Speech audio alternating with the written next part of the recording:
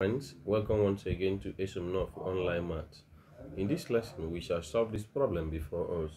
Do not forget that this video is proudly powered by your lesson app.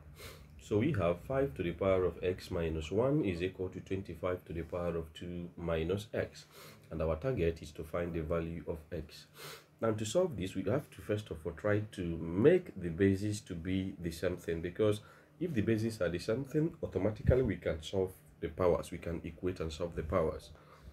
So 5 to the power of x minus 1 is equal to 25 is 5 to the power of 2. Then bracket 2 minus x. 5 to the power of x minus 1 is not equal to 5 to the power of 2 times 2 is 4 and 2 times minus x is minus 2x. Now the bases are the same thing you can equate the powers. x minus 1 is equal to 4 minus 2x.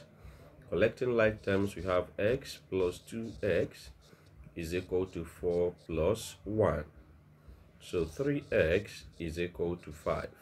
Therefore, x becomes 5 all over 3. You can change to mixed number if you want to.